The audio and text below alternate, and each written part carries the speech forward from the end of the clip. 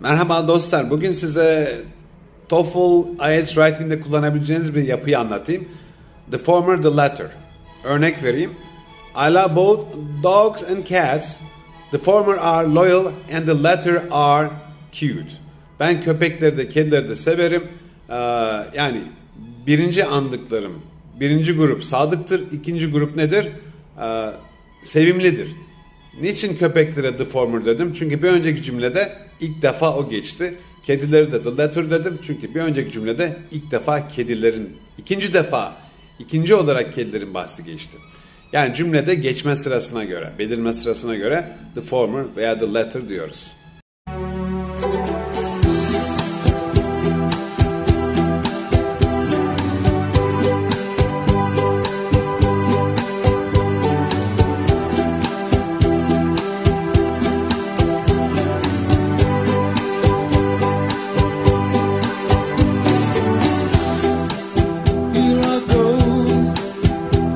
See again.